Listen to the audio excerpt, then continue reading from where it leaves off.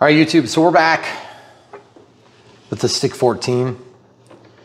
We got these wheel pants on, and I just wanted to show you, we did two of them.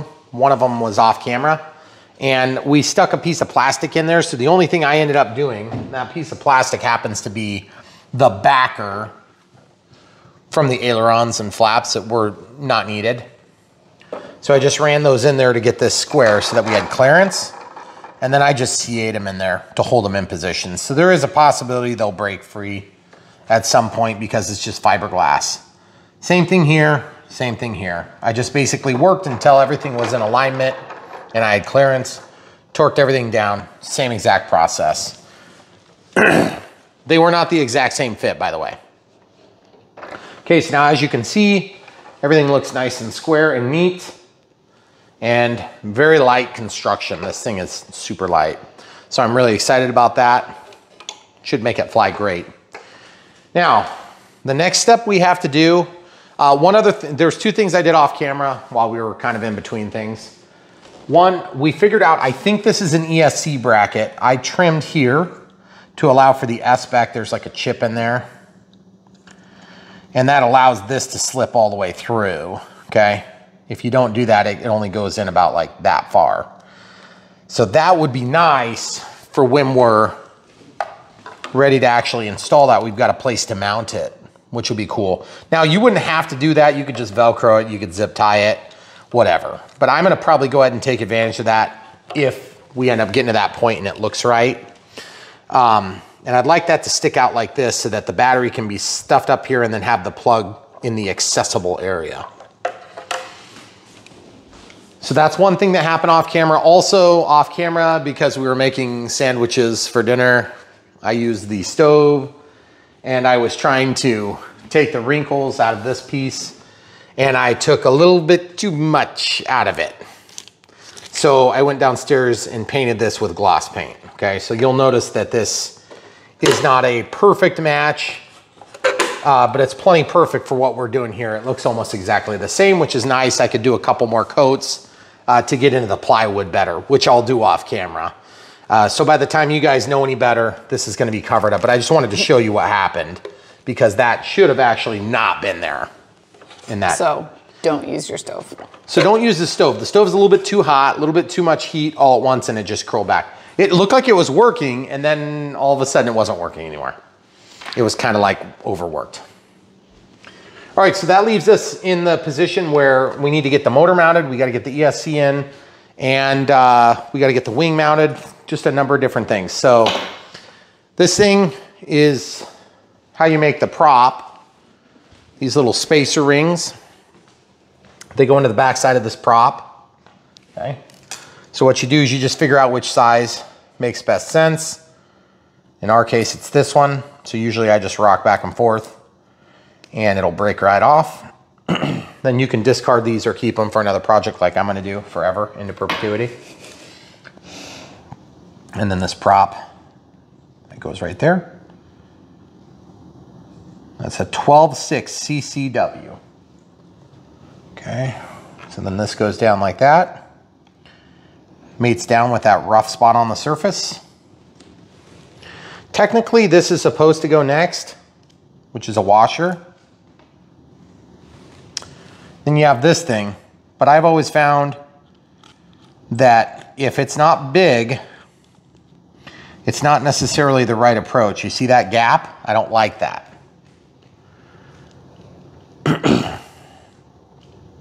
so if it's not too tall, and it may be, then I'm gonna take that thing out and just discard it, well, use it for another project, also known as store it into perpetuity. Mm -hmm. Okay? So you'll note that that fits nicely and looks nicely. Okay? Now, if in any doubt, you don't actually have to put this prop on, which would generally be the rule of thumb. Okay? So I'm just gonna show you putting that on quick.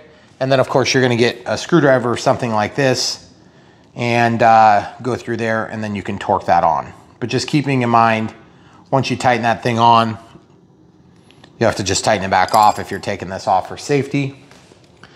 I should probably encourage you to take it off for safety since we don't have the radio system vetted yet. I usually recommend having the system vetted before you have that prop on there.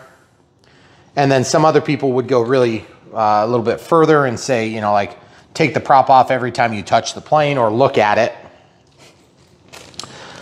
I'm maybe not of that mindset. okay, so this is the uh, motor mount.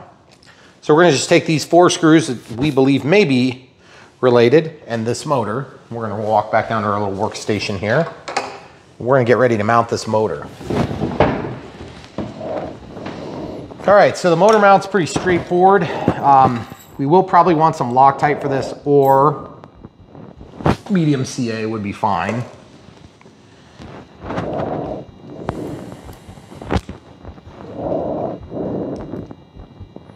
So it's gonna go like that. See, these ones are countersunk. So we're gonna drop those in there.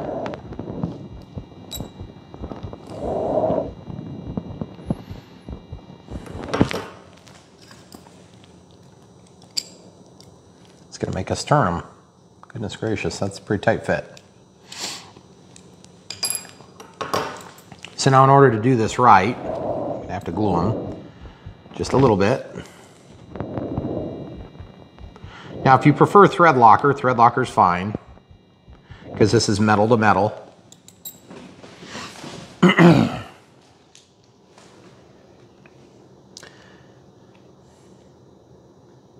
it's crazy how fast a nozzle will clog when you're filming. Even faster than normal.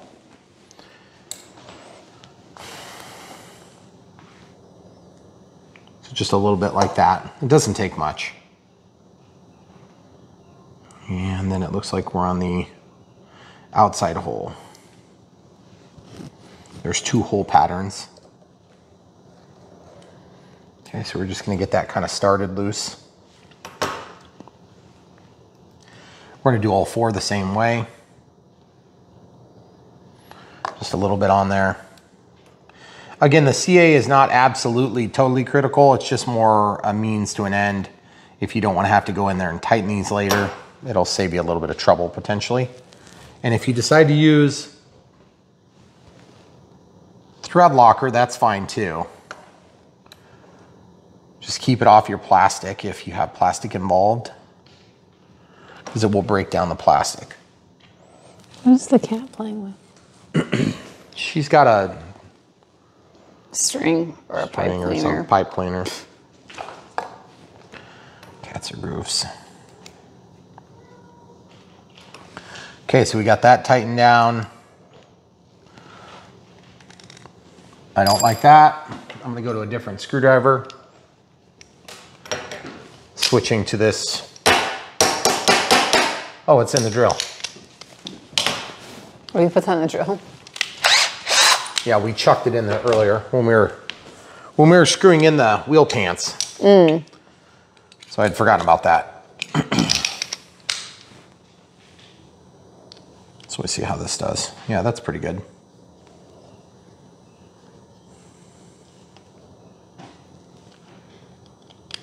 Actually, don't know if that's as good a bite as I'd like.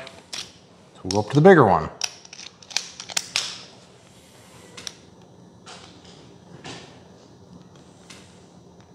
Okay. That feels pretty good. That's number two. Number two Phillips.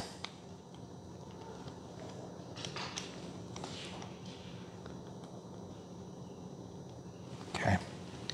All right, so now that's ready to rock and roll.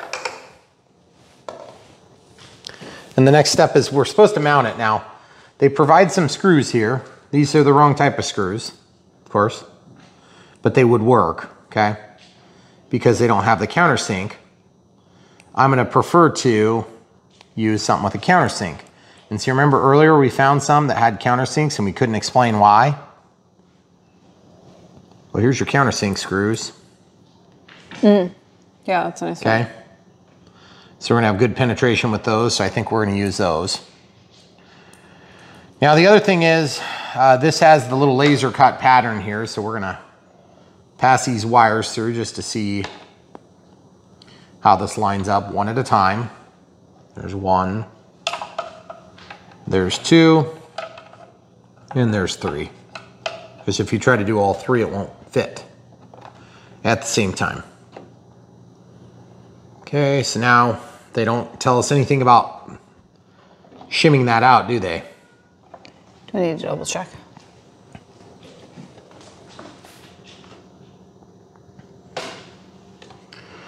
Um, trying to see if this even lines up with the whole pattern. Which it looks like it sort of kind of doesn't really that much. I mean, it does line up with the pattern, but it doesn't necessarily line up with where the end of the pattern is. So that's pretty useless. We've run into this before with other planes. I'm just to get two of the lines lined up. Then I'll make a mark. So that's one mark, so that'll get us started. So we'll see. I may have to pre-drill these holes. So I put a 1 16th drill bit in here.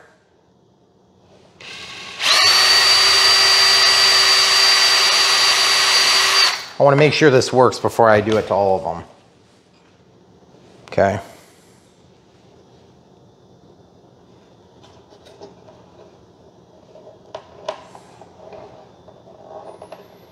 That's pretty soft wood right there. I'm not so sure that's going to be acceptable.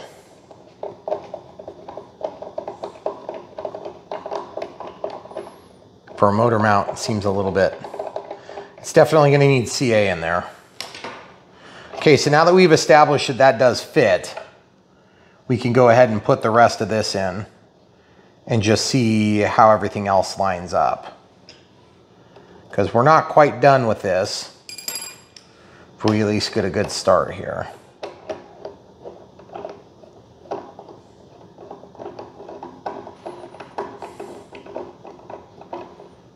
Now that should be propped out some.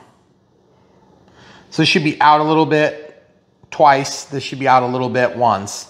This should be out a little bit once, and then this should be out none, which will help counteract the torque. So what I need to do now is I need to see if we have anything. I'm wondering if we should use those same plastic things. We could also try to shim it out with these. That might work because we happen to have these lying around. Everybody that has this kit will. Just might be a little bit more than I would have planned on, but I think that might work. Let's try that. Let's see how it looks. There's no rule that says it has to be one material or another. Although what one rule does exist is you want the holes to line up. So I'm gonna tighten that. I'm gonna go until the cross overlaps. Okay, so we're just gonna try to kind of hit all three of the other sides. I'm just gonna run the screwdriver in there a couple of times to make a mark. Then I can back this out.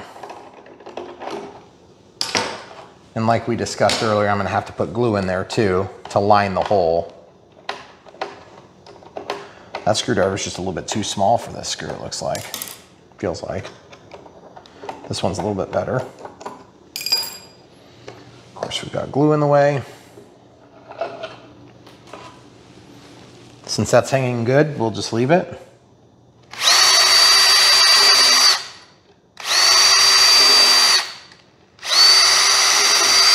Okay, so we have our pilot holes drilled. So now, um, I'm kind of torn here. I think what I'm gonna do is I'll do Two might be too much because I don't think our screw's gonna be long enough then. So we'll have to just do the one.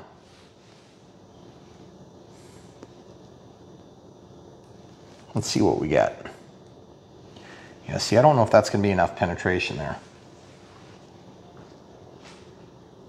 Okay, so a lot of glue on the tip.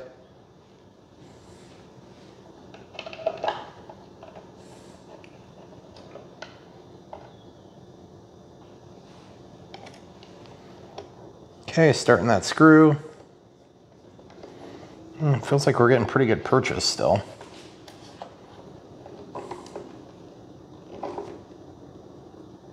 Oh yeah, didn't strip or anything. That's good. So then the next question becomes, is that enough down and right? Because when you're looking at this, it should be, it should be like this and down, just a little bit. And that's gonna help with the torque when you put the throttle to it. And I think it'd be nice if I could just kind of shave that down some. I wonder if I can just rub it on the bottom of the counter, if that's enough to thin it out. It's just rough on the bottom. If you don't have granite, it won't work as good.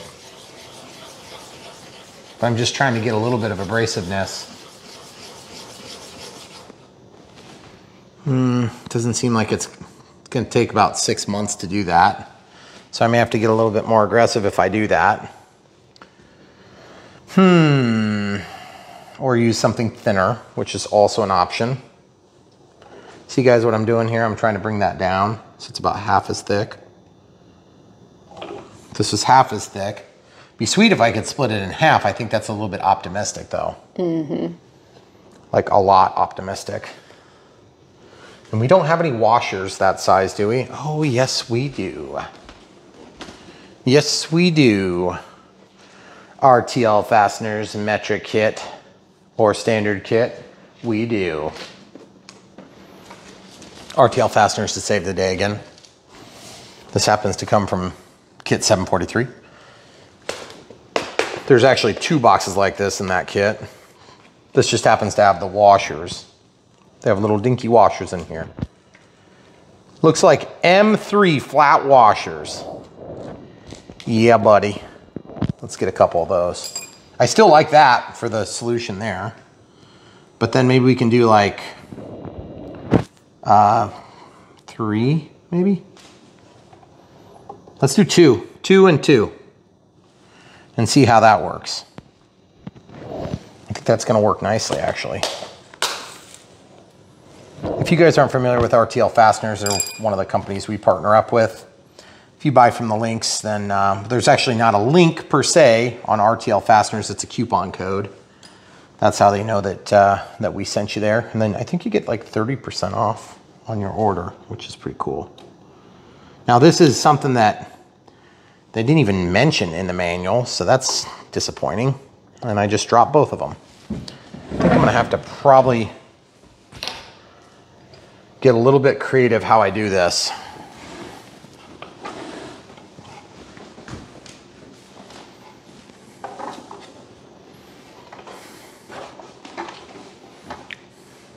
Why do I feel like I'm trying to play bongos here? Watch out, I'm gonna go between there. Okay. Between the couch, you think that'll work? Vertical stabilizer in between the couch cushions. I just don't know if that's gonna buy me that much help because it's too much of an angle still. What if I do like this? Wheel pants? Yeah, that might work. Okay, me. one hand here, Okay. and then just hold that steady. Then I can lay those down. Try not to move it. Okay, so we'll go like that. Then I'm gonna put glue on this screw right now because I wanna glue it. One big drip, see?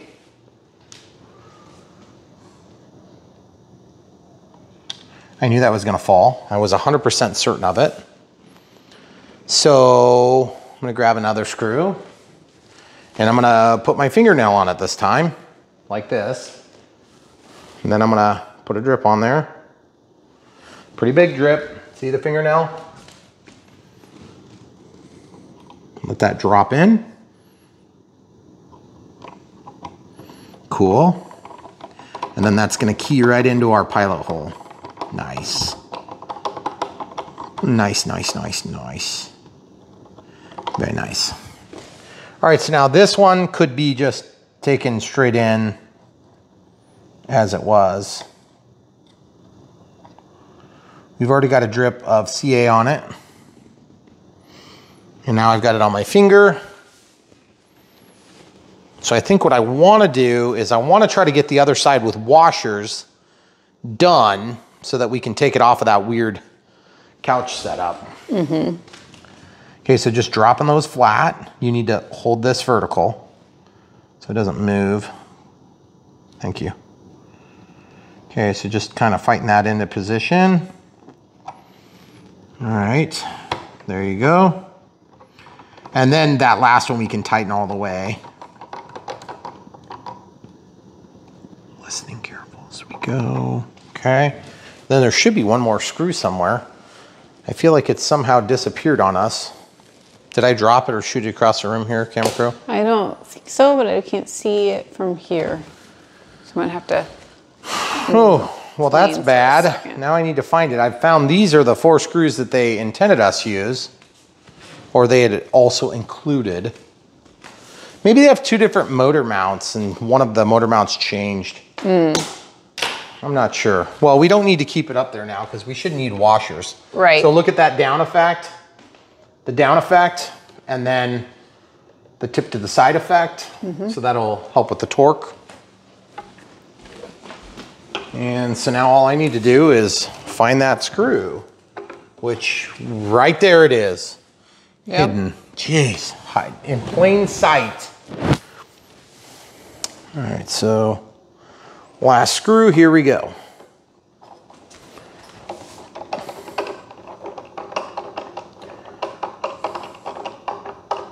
You know what? I didn't put CA on that. Oh, we did not. Can you come around here and see about hanging on to this anywhere? Mm-hmm. Okay, I'm gonna do the same thing with my finger or fingernail in this case. And just a little bit of CA. Now I can just plunge it in and the camera crew is hanging onto the plane so I can use both hands to screw on the, the screw here. Very good. Now I'm gonna go around and just make sure everything's tight. Okay, very tight. Toit like a toiga. All right, we're good there. We're good there. We're good there. And then the wires are good. All right, so the motor is mounted. I'm satisfied with that. We can put away the RTL fasteners kit. Check out their link, guys. It's in the video description, also on brianphillipsrc.com. All right, so continuing onward, what's next? We got to get the ESC in there and we have to mount the receiver at some point, but we're going to do that last. I'd like to get this mounted. Is there a CG listed in the manual somewhere that we're going to worry about? We're not going to worry about that until it's built because Okay. we need all the components installed. Okay, now I don't know if this is going to rotate the correct direction or not. So we're going to just throw caution to the wind. It's real easy to get to it because this cover comes off. Okay, so we'll just, Sheesh, get in there. That is a tight squeeze. Historically, that is a good thing. Less likely to come undone. Okay. Now I don't know what direction that's supposed to be, and we won't know. And that's just the way it's gonna be. So now that ESC could go in a bunch of different configurations, and uh, I, I don't know that there's anything particularly terrible about having it over here, having it over there. I don't know that it really matters. So I guess I'm just gonna feed the wires through. And for the moment, sort of throw caution to the wind because I don't know if it matters. They don't talk about it at all in the manual as though it's a non-issue, which I do think is very strange. I also think that it's noteworthy that you do have to have an ESC and it is definitely um, it wasn't anywhere in the manual that this box was supposed to go with it. So I, I could be totally wrong on that, by the way. Does the wing fit if I did that? Um, I don't know how far it drops down. That's a little bit tempting right there. Are you gonna be able to reach your battery lead up to that front compartment? Hold on, let me try this. Because if I tied this down, these wires, to a set there and we glued that there, I think that this just, yeah, it just rides on the edge. So we could, hypothetically, we could do that. That would be pretty sweet right there. The other thing is we could zip tie that in. I want this accessible. And if you're doing 2200 4S, let me go grab one of those. We have a 50C and a 30C here just for size comparison. So if it's a 2200 4S, I think 2200 through 2800. Mm -hmm. So we'll, we'll grab a 3200 just as a size comparison. Oh yeah, that 2200 will be super easy if the wing is off. But like you were saying, the wing's not gonna be off, the wing is gonna be on. And so you'll wanna be able to get to the XT60 plug. Good point. Because this wing is not gonna be off.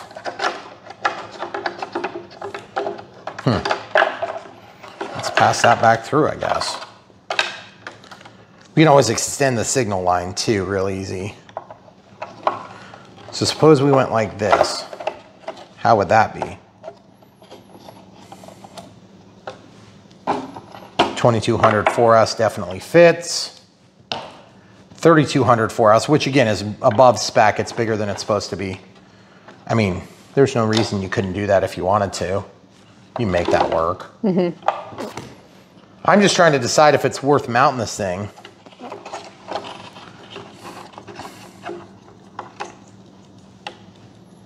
Because I honestly don't know.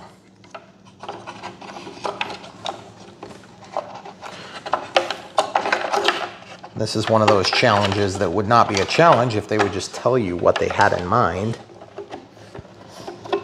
I think I think it would be nice if we could make it back here, but I don't like that it pops out so easy either.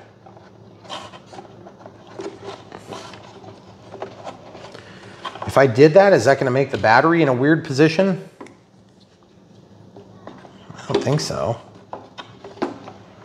No, that should be fine, don't you think?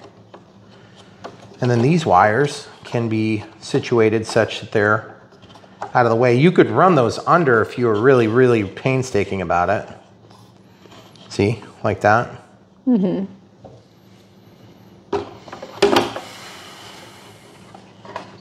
Like that. Be relatively easy to get in there. Not so easy to get out though. Hmm. It's like ripping the battery. I don't know what the heck happened there. What do you think, camera crew? I don't know. I feel like the lead is lining up Crappy? weird. Yeah. I feel like that block is more work than it seems to be providing benefit. Okay. Well, let's try without it. So let's suppose we don't use the block.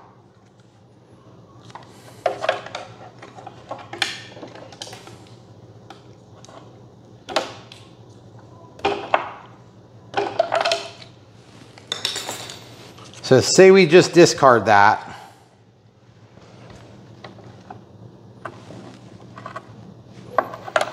Wonder how hard it would be to get that under and back. Probably a lot of work. A lot of work for very little benefit. Okay. So what are you recommending, camera crew? Go all the way around like that? Something like that maybe? Then your lead, the XT60 ends up at the front, but you should still have plenty of line to get back to your receiver. It's Gonna be on, it's gonna be on the edge.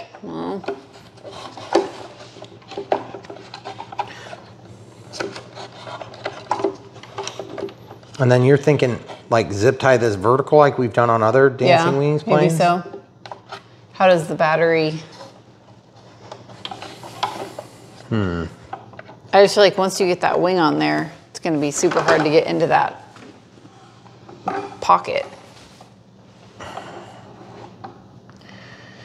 Yeah. I don't know, because now the wires are way back there. This is one of those preference issues that really shouldn't necessarily be a preference issue. I mean, it could be a preference issue, but why doesn't the manufacturer just tell us what we were supposed to do is what is totally beyond me. Probably because they didn't even have an ESC in there when they built the designs, the plan specs.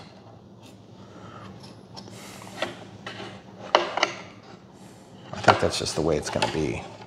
That is for sure gonna reach, 100% certain it's gonna reach.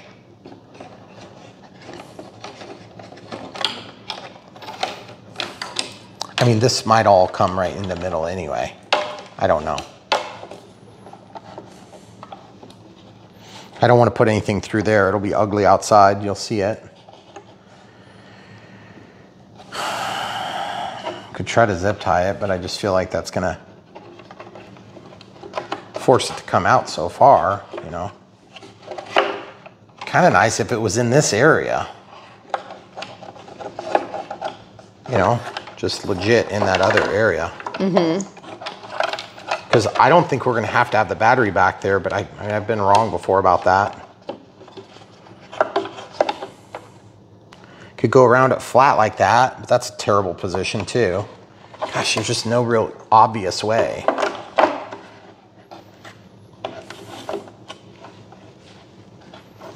I think I'm going to try a zip tie quick.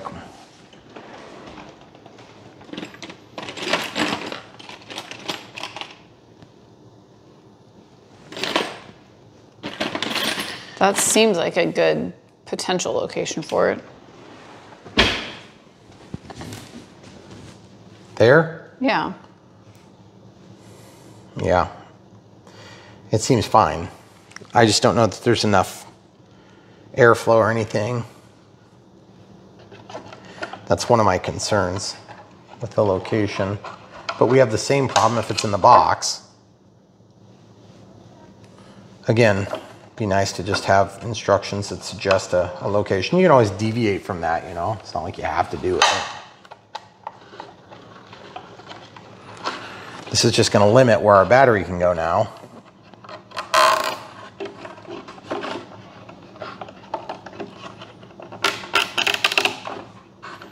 See that, how it's got a gap now from the wall? Mm-hmm.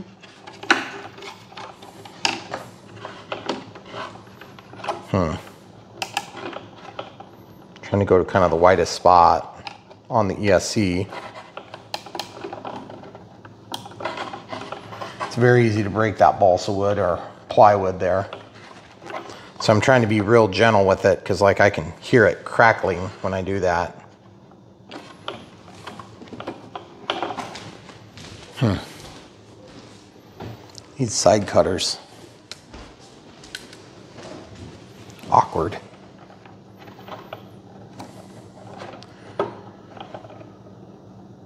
Oh, it's totally gonna break the wood.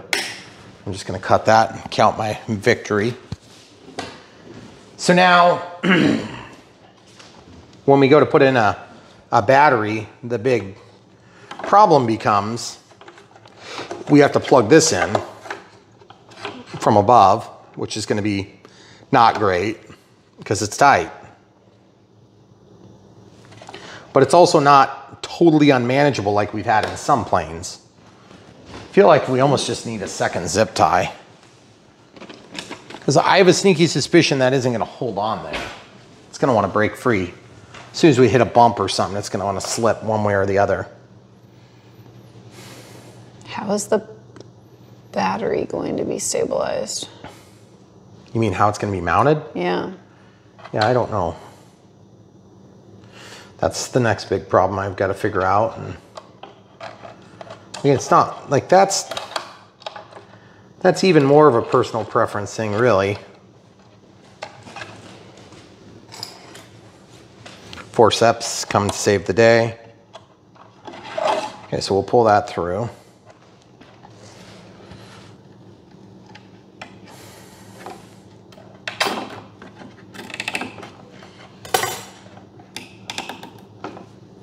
Okay, so that's gonna hold that ESC in place. was a better size zip tie too. All right, so if this was the battery that's powering the plane, then we'd be plugging it in like this, okay? That's gonna be terrible. I'm not looking forward to that. So we may have to build an adapter or, or better yet, we may already have an adapter. Um, wrong type of adapter. We need to have one that goes from an EC2 to an XT60. Something like this. So then you would, now that's not included with the model, obviously. But then you're way out here, you've got easy work of it. You plug it in, you do your thing, you tuck it in there where you need to tuck it in there, and then you're golden. And if you're really careful about the way you set this up, then you can put a bulkhead in here made of foam. And then that foam will prevent the battery from shifting around and it's quite an easy installation there. Also, I'm gonna undo these wires from that spot. Well, except they do kind of prevent them from getting entangled in the, in the actual horns. So let's leave them out for now. All right, so that, that basically has the electronics installed. We'll just leave that for now. I don't even know if we're gonna keep that in there or not. Um, we do have one other process that we have to do too, and that's along the lines of radio setup, but it's not radio setup. And that has to do with the telemetry lead for this AR 8360T. And the telemetry lead goes back for pack voltage.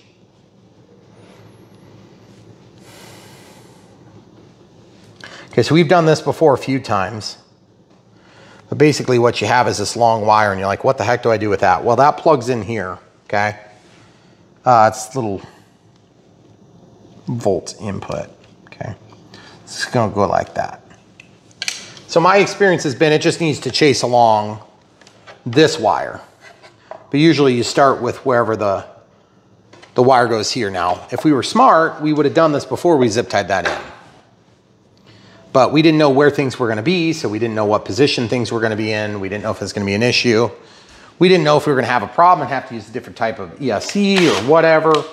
So at this point, I'm gonna show you my next trick of the day. The next trick of the day is pretty straightforward stuff. I think I've showed this before too, but that cable gets to being kind of unwieldy.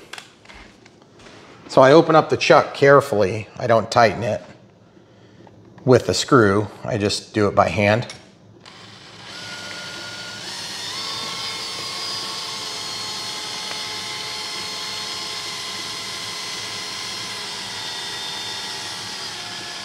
Okay, hold on. Got a tangle.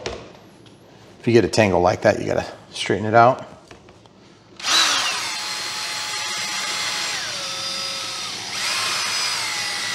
Let it walk toward itself. There you go. So then you have a nice braided cable that won't undo, at least not easily. And that makes it a heck of a lot easier to deal with. Okay, then this access here needs to be stripped back. So we're gonna grab some strippers.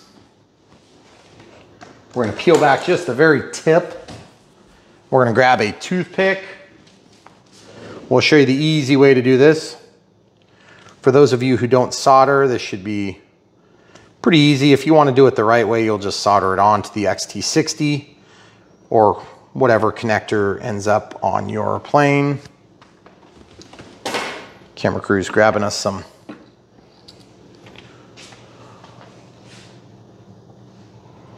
Okay, so I need these to be about the same length. So you've got the red and the black. Okay, so all we have to do is basically pull this heat shrink back. Hmm, what do you think? Probably gonna have to cut those zip ties. That sucks. Seriously, guys, sorry. Sometimes you win and sometimes you lose, but we know where it's going now. Okay, so if you don't wanna fight this, you can heat it and pull it back. But there's a trick, and that is if it's already been heated, you can very carefully guide this up in there. Okay. See how I'm walking it back and forth? It's just kind of stretching it back out. And this is a super, super easy way to do it. Let's just spin that a couple of times. See, braid that a little bit. Okay, so just guide this along. Guide it along.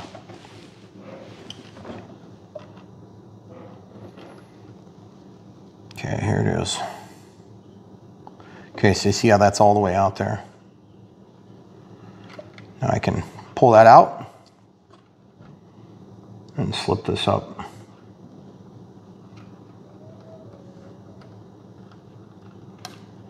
It doesn't look like it's going to work, but it will.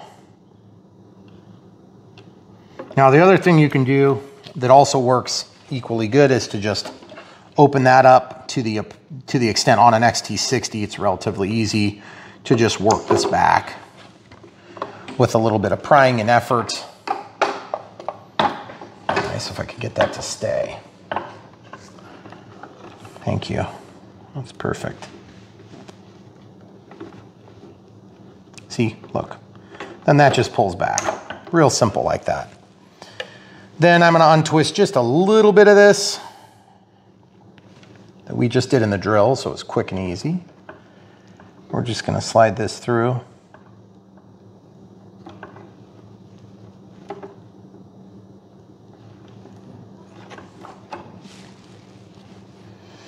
And even after all that, you still sometimes have to use the toothpick anyway. Okay. That just stretches out the heat shrink a little bit. So it's easy to get through. And you can heat it back up and it'll tighten right back down.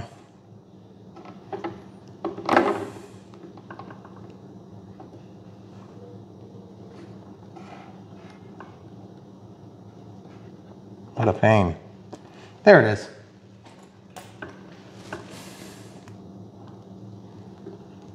So there it is. So now the options are kind of endless on how you want to handle that. In my case, I'm deciding I'm going to strip just a hair more wire. I'm going to hang on to the wire lengthwise this time and then pull that sheath back just a hair. Okay. I'll show you a way we haven't done before. I'll tie that around the lead and then just kind of make a make a 90 on there. I'll make the 90 out here actually so it's easier to see. 90 degree bend. Should still be plenty of length. Okay, just brace that with your thumbnail or whatever. And there you go. And there you have it. Now that won't come undone easily. It'll come undone if you, you know, crash maybe. But if you lose your voltage telemetry, you'll know where to start, okay? So there you have it. Then I'm just gonna brace that with my thumb and finger while I slide the heat shrink back over. So the reason I do this is because that shows people that maybe aren't solderers how to do that. Now, hang tight, you got that? Mm-hmm. Yes. Now, what we're gonna do is we're gonna do both sides so we only have to heat it once, okay? But we're gonna do the exact same approach over here. Start by getting in there. Of course, if that heat shrink fails, then you'll you'll have limits on what you can do. Your choices will be kind of like replacing it, desoldering it, and just redoing the heat shrink. So just kind of stretching it out now. You get really aggressive. Now sometimes you can just do that and just take your wire and stuff it up in there and you'll be fine. But the thing is I found that I just don't necessarily trust that it's gonna hold, although every time I've done it, it's always held. The other thing is you can just pierce this wherever you want. And just chase this right in.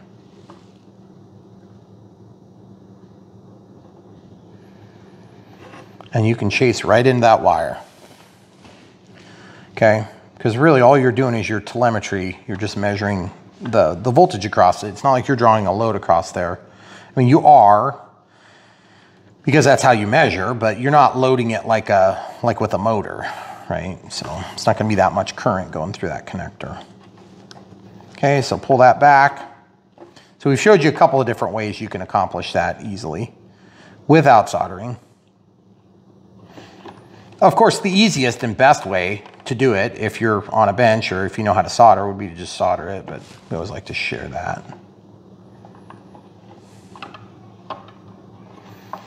Okay. So I'll just chase along that side. Same scenario as the other side. Slip that all the way through. You can see where the copper's coming out. You good there, camera crew?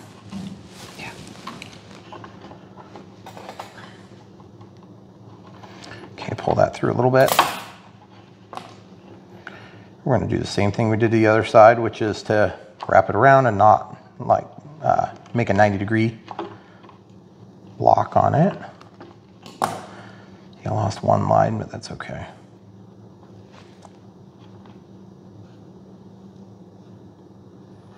Okay, so we're just twisting that to give it a little bit to hang on to. I'm gonna hang on to this with my forceps and just pull back a little bit further. Okay. Making a 90. Oh, jeez.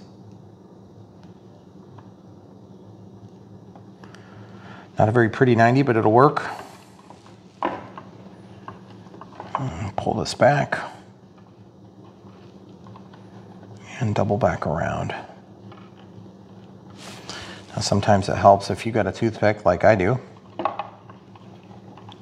You can use the toothpick to force that to go around and get to a spot. Okay.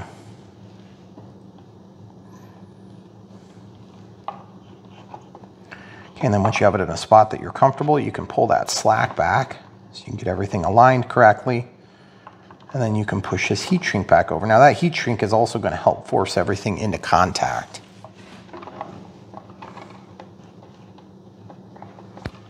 Okay.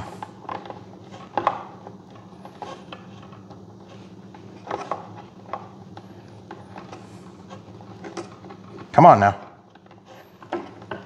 Just rotate that around again. Okay, so now we can just twist that on the last couple loose ends. Look how nice that looks.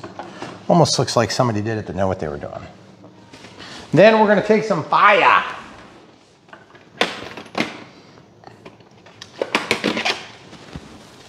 You guys ready?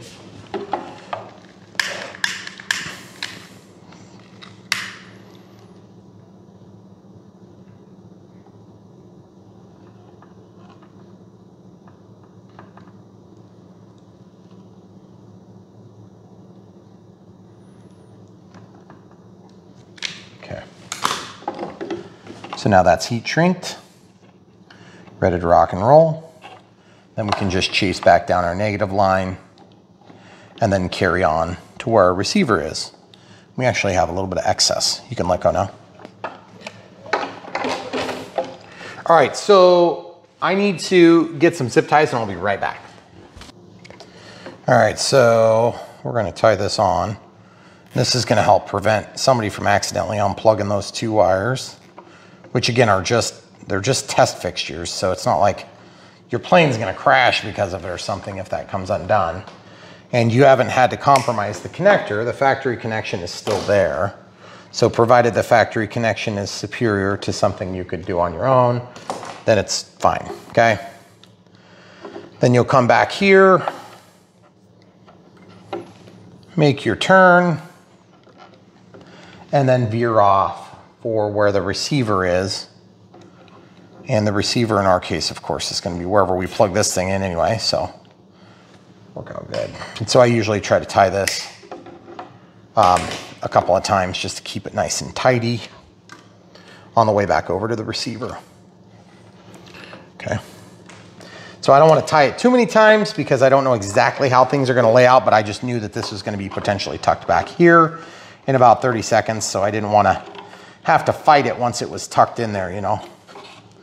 So at this point, I'm gonna go ahead and make sure I'm satisfied with the way that these are tangled and make sure that I'm satisfied with the potential direction of travel because keep in mind, I have to be able to switch these if it's going the wrong way or reprogram it, which again, we could hypothetically do if I had a programming card or if I looked up the programming instructions, either of which would work. I like how that is. That's what we're gonna go with. And then I'm gonna reposition this uh, just right, right there so I straddle two of the holes. Camera crew asked me earlier off camera if I was gonna film re-zip tying this and the answer is yes. Okay. Oh, because I'm changing the position slightly. And I want to show what I did. Okay. Just two zip ties. We know what we're doing now at least. Should go a little easier.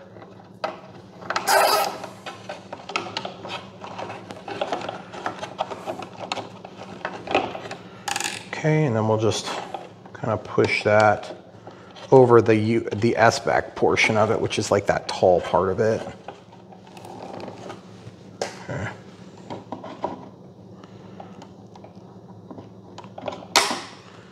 All right, so that's good. And you know, like in the right environment, that'd be fine. The heat sink's on this side, the battery's gonna be here, so that's not maybe super ideal, but kind of is what it is, it's a tight space. You gotta get it where you can get it, I guess. Okay, I don't know if you guys can see what I'm doing, but I'm doubling back and putting a hook on the bottom of the, the zip tie, two bends. And then that means I can get around the bottom of that tray easily. Then with the forceps, between that and the forceps makes it quite easy to get those uh, zip ties through. Again, this, this process isn't hard once you've determined what you're doing. Um, the frustration for us as builders and um, is not knowing exactly what the manufacturer had in mind because you don't want to get to the point where you're about done and you realize, oh crap, that's a terrible spot.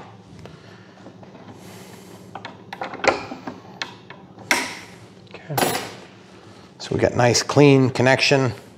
Everything's gonna work out good here. Looks like plenty of length on everything we need. So now the next step is gonna be somewhere along the lines of, I need to basically get the receiver physically mounted. And this kind of like trickles into radio setup, but we're gonna go ahead and do it anyway.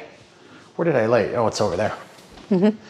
So now this plane came with Velcro, okay? So what I'm probably gonna do is I'm probably gonna Velcro this thing because even though it is an AS3X receiver, it does need to be spatially aware. I kind of like the idea of having it so that it can, you know, be moved if there's an issue, okay? Or I can probably zip tie it right there, which would be just fine too, which is a little bit tempting. If I jump from here to here, I can't pass underneath. There's a pass through here, but there's no pass through under. So if I come around and plug in that way, like these are end pins. So the wing has all the wires coming out mid-wing, about two thirds of the way toward the front. So just thinking about the length of the wings, wires, we had talked also about the prospect of mounting the receiver up here. I don't know if that's necessarily a better idea, worse idea. Let's explore that real quick.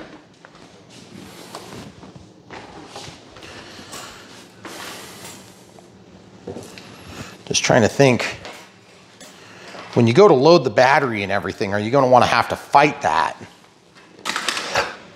And that's the question that becomes the question of the day. Because if this is your bundle that you have to work with here, okay, you're not getting out, you're not getting in and out every time. So really, it's not necessarily a big issue. You're gonna have four on either side. But then are you gaining much? Because it looks like you actually have more on this half, right? Length. Not this. That's Right. gonna get doubled back. But yeah, the length length issue is, I would say, somewhat neutral, if anything. Hmm.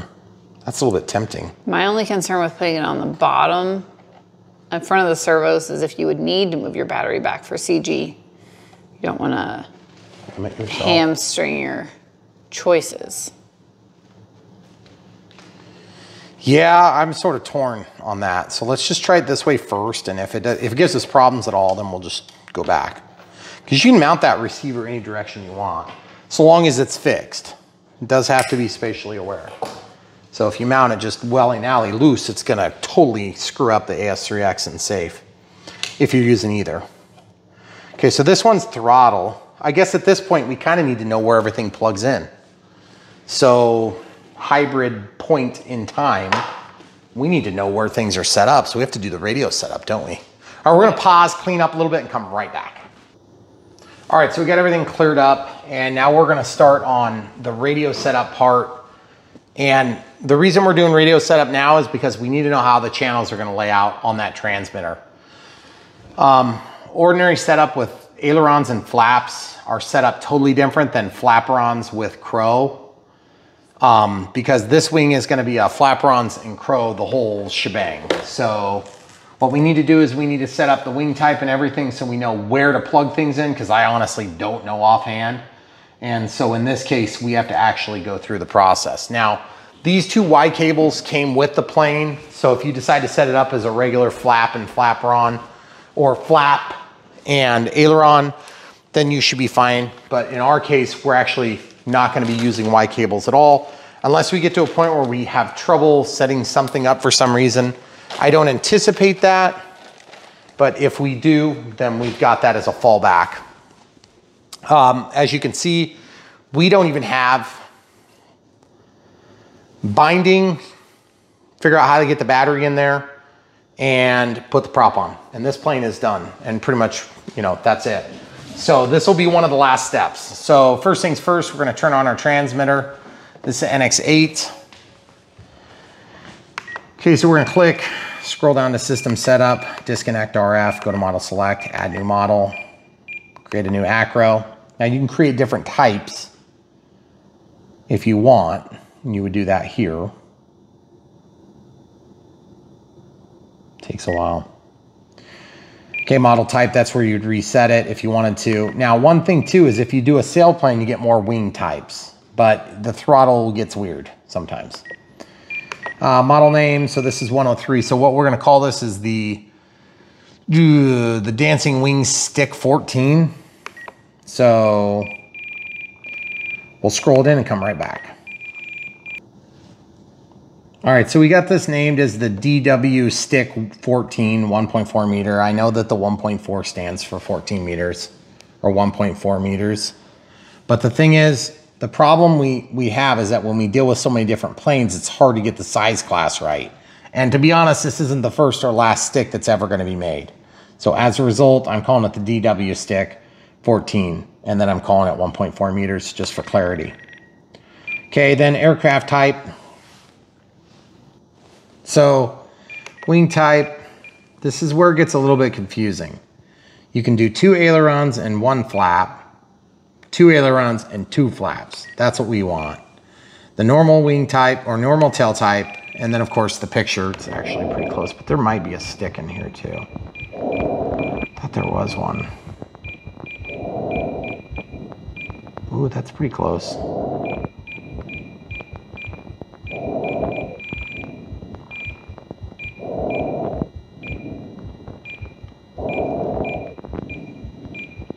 You don't have to worry about the picture, obviously, but which one? That one or this one? Probably that one. Mhm. Okay, then there's going to be a flight mode set up. So flight mode's going to be something like there's no landing gear, so I'll probably have this for stabilization or AS3X. I'm just thinking out loud for a second. If I wanted to have flaps, and the flaps are going to be here. So I'm going to have takeoff flaps, landing flaps, but then I'm going to have something like crow. So I don't know if I want to have crow here. Gosh, it's always weird when I add crow. I think I'll have that as a mix with C. So I'm going to set switch A to the flight mode. And then you can also go to next you can reassign which flight mode you want, but it doesn't really make that big of a difference. Spoken flight mode, This is where you can rename the flight modes. Okay, so it says safe or AS3X. So like flight mode name, so click cancel, cancel. And then you can type in whatever you want it to be. I went the wrong direction, dang it. I do use the legacy keyboard because I prefer it over the new one. You don't have to. Um,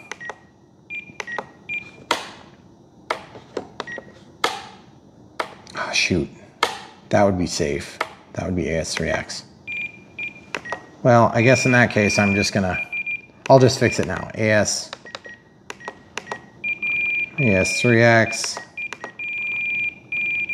Now this is just a name. It doesn't mean anything in terms of actual settings.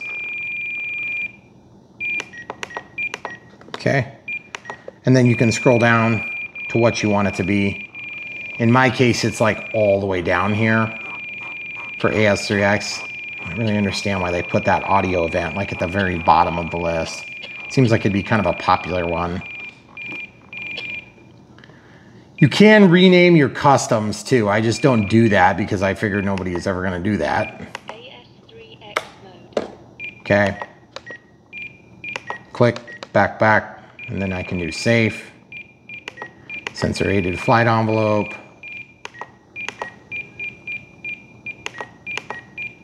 Okay. And then again, just have to scroll way, way, way down, almost to the end. Slightly less bad than AS3X. Okay. Safe. AS3X mode. Safe mode. Okay, so then channel assign we're not going to mess with. We're just going to leave that as is. And we're to walk out. Then we're to do the first thing we're to do is we're to go and do throttle cut. We're to change it to switch H. We're to make sure it's working and we're good. Then we're to set up a timer. Probably to be irrelevant anyway. Five minutes. We'll make it active for one out. That means over 25% it starts. At one minute, I want nothing. At 20 seconds, I want nothing. At 10 seconds, I want voice. At expiration, I want tone and vibrate. Okay. Telemetry will auto configure.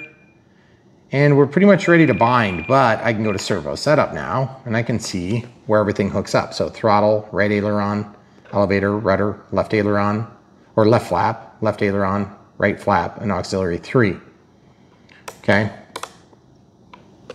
So the other thing I need to do is I need to set up flap mode, flap system. Set it to switch B, and look at that. There's Crow right there. Really nice. I don't know how that works, but I'm gonna set the speed to two seconds. And since it's plug and fly, it's not a plug and fly. I wanna be careful about how I do this. Elevator compensation, let's just figure on four and six. Um, one's gonna be one way, one's gonna be the other way, okay? I don't know which way's which, and it doesn't matter because it just doesn't yet. And then we're just gonna set these values and we'll play with that. And we can make that assignment a little bit later too. Okay, so when we're in the neutral setting, I'm actually gonna make that something like that. I don't even know what direction I want it to work yet. So I'm just gonna put it in the middle. And I'm gonna actually set the elevator compensation to zero. So that means when we hook this up first, we're not gonna have an elevator um, correction that we're fighting for mechanical trim. Do you hear that? That makes sense. Okay, so we're gonna go to bind and be ready, except we're not because we're gonna go to monitor and we'll know which channel's what. Throttle cuts on. Okay, so now at this point, I can start making some decisions on how this stuff plugs in. And it's a little bit tempting to just put some double-sided tape on here or Velcro. It did come with some Velcro. Why don't we try Velcro first, see how this works. You wanna make sure the Velcro holds though. Because if there's any doubt, like this is pretty thin compared to that receiver. Maybe I'll try some other Velcro I've kept from other projects. So you got other Velcro from other airplanes. They didn't include a strap in this one, which surprises me. I don't understand why they didn't. but they didn't. And looks like we've got kind of some thicker Velcro here. This is just, like I said, whatever I had lying around. That might be a little bit more appropriately sized for this one. So we'll stick that maybe on there. See how this works. That's some super sticky stuff. Good. Okay, so we'll just kind of stuff that down on there. Peel that off. And then we'll be able to take that on and off as we need while we're working. And there's nothing, no ribs or anything we're gonna hit, so I'm just gonna try to put it in the middle. And the pins are gonna be facing forward because I feel like that's the way all the wires are neutrally right now. It's forward, plus that keeps them away from here, okay? So we don't have tangling, okay? So now we can start plugging things in. I can get this Velcro potentially out of the way. I'm not sure how all that's gonna go. We're probably gonna have to get a strap so that we can strap the battery in, I would imagine. Yeah, something. Or build a foam plug. We've done foam plugs before, that usually works pretty good. But it traps heat too, that's a problem. Okay, so we know which wires are which because this is the uh, left wing. So the Futaba ones are the one with the extension cables. So this is the left, uh, left aileron. So that's one, two, three, four, five, six. So channel six. And then how do you tell which one's signal? You look at this side, it says S plus minus. So S is up, signal is red. Okay. Then this one must be the inboard portion, so that's the flap. That'd be the left flap. So that'd be five, one, two, three, four, five. Okay, and then signal is up.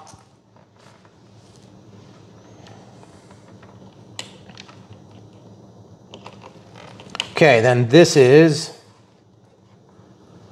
the right aileron. So that's the second channel.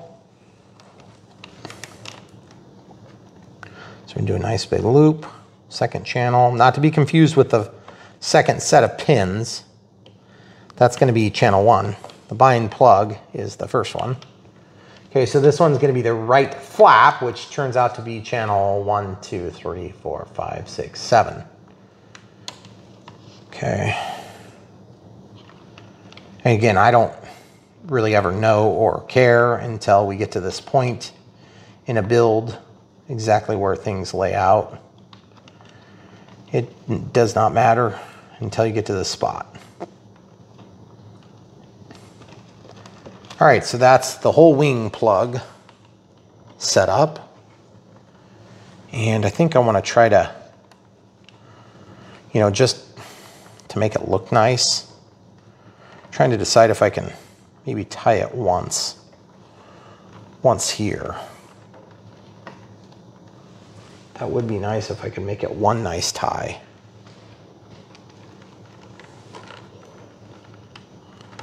Have it all clean and secured and relieve pressure in the event of some crazy maneuver. So you don't have something yanking out of the plug. Like pretty much even in the event of a crash, you know, you still kind of want to keep and maintain control of the vehicle.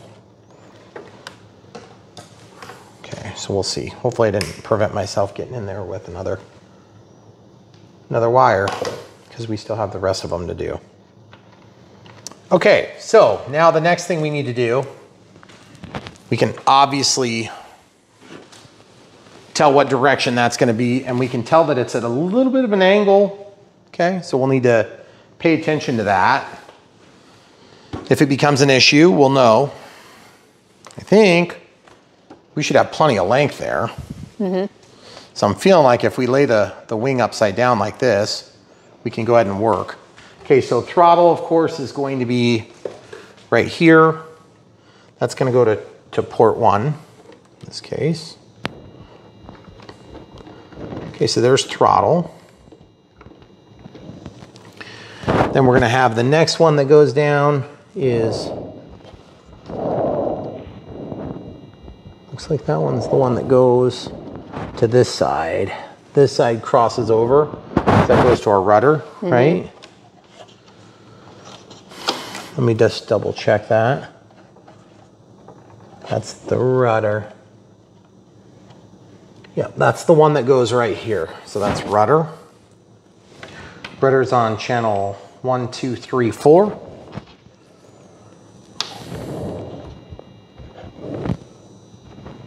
One, two, three, four.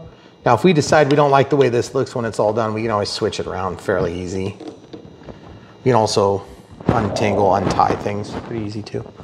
Okay, so this one is gonna be for the last one in the row.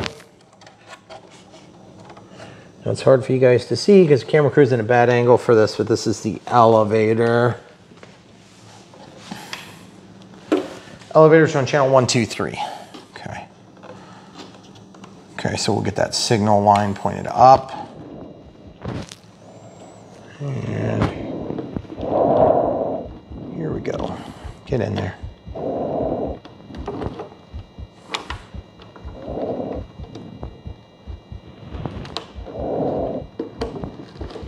Okay. You're probably thinking to yourself, well, why not just use a six channel receiver? Well, because I want curl on this plane. Why do I want curl on this plane? I don't know, just because it'll be cool. And that's what I've done on every stick I've ever done. So apples to apples comparison, I don't know, you could call it that. I want to try to keep them all consistent. All right, so now I'm going to throw another zip tie here.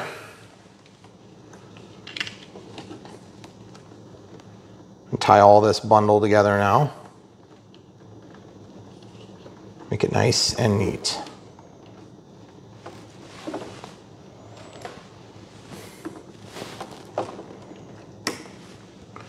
Okay, so we have no pressure on the connections. That's important. The other thing is I want to tape these in a diversity fashion, which is super easy on a flat wing. Uh, shouldn't, shouldn't be hard at all, but I do need to keep it within the confines of the structure of the aircraft because this is going to be inside.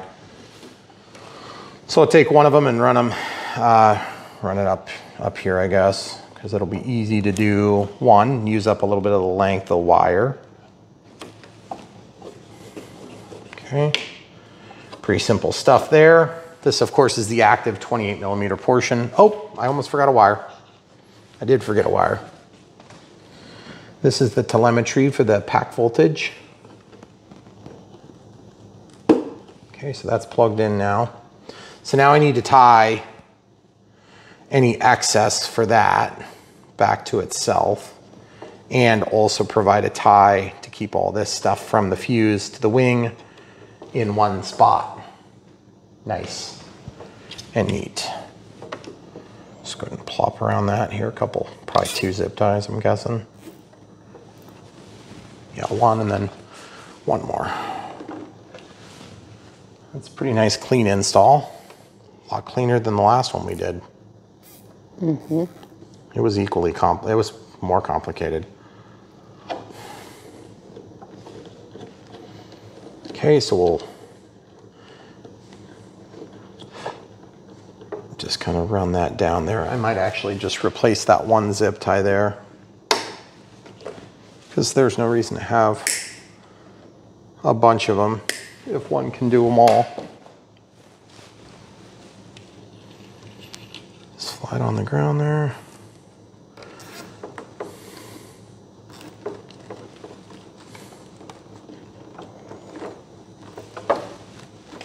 Okay, so we should be golden there.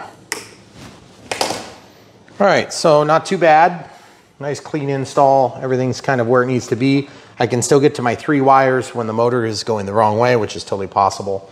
And then of course we have to tape the other antenna in the diversity antenna array. So you don't want to go like this. You could go like this, or you could go like this. I'd rather control what I can control. So I'm gonna probably tape it flat like this. Make sure there's not a big bump because that bump will allow that tape to work free over time.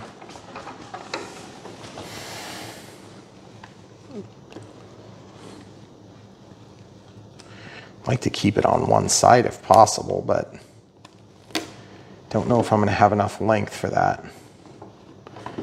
Okay.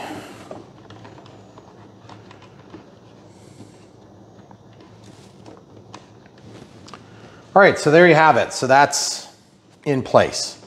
Now, is that the most secure installation I've ever done in my history of doing installs? Probably not. But you know what? I'm gonna put a piece of tape on it. I don't know if that's a long enough piece of tape. I think I'm gonna tape down this antenna first. I don't want that getting in the way when we try to lay this down. So it looks like I might be really close to getting in the way with that. So we'll see. If it does get in the way, we'll probably do another piece of tape. Okay, so relatively long piece. Yeah, and this is literally just tape holding it in. Tape and Velcro. But there's nothing wrong with it if it holds it. I'm gonna double back the tape here. So I've got something to hang on to, a little tail, if I need to undo it. Because I don't wanna have to rip the film to get it off of there, okay? So we'll see if that's good, if that gives us enough support. I feel like it's strong enough. I could probably hold up the plane by that tape if I really wanted to. Not gonna test it. Maybe one more piece of tape for good measure. This one's long too. Because this, I can just tape it down like this. This will be one of the first times I've used tape to hold a, a receiver like this. I think it's gonna work okay. One thing that's bad about tape is if it if it's a component that really gets hot, it can loosen the tape. But we have Velcro underneath. This is just for good measure. Okay. So that's in there securely. The antennas at 90 degrees of one another, which is good for diversity, which is what we want on this type of antenna. antenna. And now we need to bind. Okay. So we can bind with the receiver upside down, but I think what we want to do is we're going to have to just double verify that everything is going the right direction. Okay. I mean, we're going to verify that anyway, no matter what, but. Okay. So battery 2200 4S should be charged. Believe this was charged just the other day for another plane we did. I'm gonna get this plugged in. Um, it's just, it's gonna be hard to do it if we don't, okay? And you see, I'm gonna open up this connector just a little bit more. These connectors, um, show them this. See that? Those pedals are kind of not open very wide. So I'm not getting a real strong purchase on that connector adapter. So we'll just open that up a little bit. And then this is gonna give us a better pairing. Oh yeah, yeah, now it's almost hard to plug in, which is what we want. Especially if it's an adapter, because the adapter you don't want to come yanking out. Okay, so if this was your permanent solution, which it's, for me it's not, then you might want to zip tie that or something just so it doesn't come out. But then of course you shorten it up and then it kind of self-defeating. All right, so throttle cuts on. I'm gonna go ahead and click and go down to bind. Okay, so it's ready to bind, but it's not binding yet. I'm gonna lay the battery in there where I expect it to be, not that it makes a difference. Then I'm gonna plug it in, and I'm gonna hit bind. And it's gonna fail because I didn't click the button. Okay, so now that's ready. Whoops.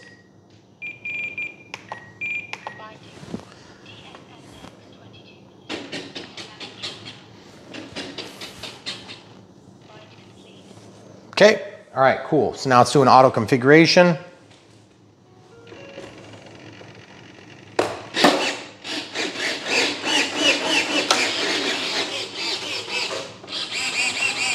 Very cool.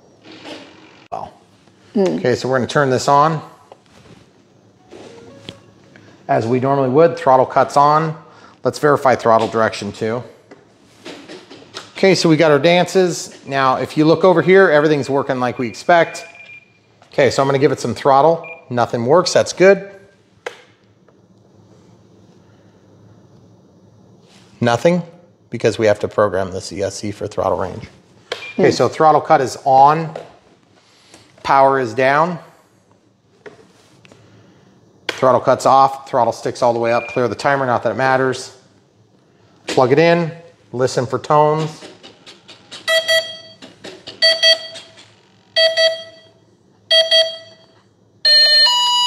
And down. We are for reboot. Should take a second. If it doesn't take a second, then we'll have to read the manual because there is a manual that comes with that thing. Back up and then back down. I don't know. With the ESCs, you just have to wait. We're gonna try again. Throttle cuts off, throttle sticks all the way up. Plug it in. And down.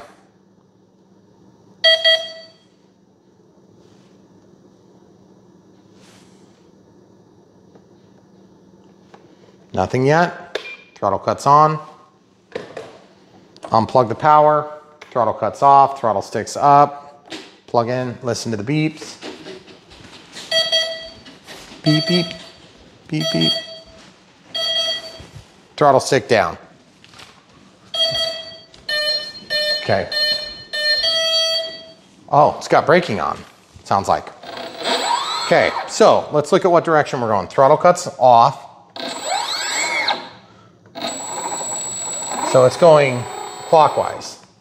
So just to give you an idea of why that's a problem, I had somebody asking me this uh, just today. Obviously, not a beginner plane, but if this were spinning, it's a tractor, so it's pulling. So it's going to pull like this, and you can always read the print as it's going towards you. So as it's facing you, okay? So that's going to need to go like that. So that'd be counterclockwise, right? So if this was on here, then it's going to spin the wrong way, okay? See, it's going to be going backward, right? So there's two ways we can reverse this. One, we can go through programming in the ESC, or two, we can switch any of the two wires. This little document shows you not much of anything, so I'm going to not mess with it. I'm just going to switch two wires. So let me show you how easy it is. Any two wires, pick and choose, it doesn't matter. You'll note that I didn't even de-energize it because I don't care. It doesn't matter. The motor doesn't care. Your controller doesn't care. Nobody cares. If you're concerned about safety on this, in the wrong hobby. Okay, so that's going counterclockwise. Now, put the prop on, then you can be concerned. Throttle cuts on and tested, okay? So now we're gonna just uh, get this temped on here because we have quite a little bit of setup left.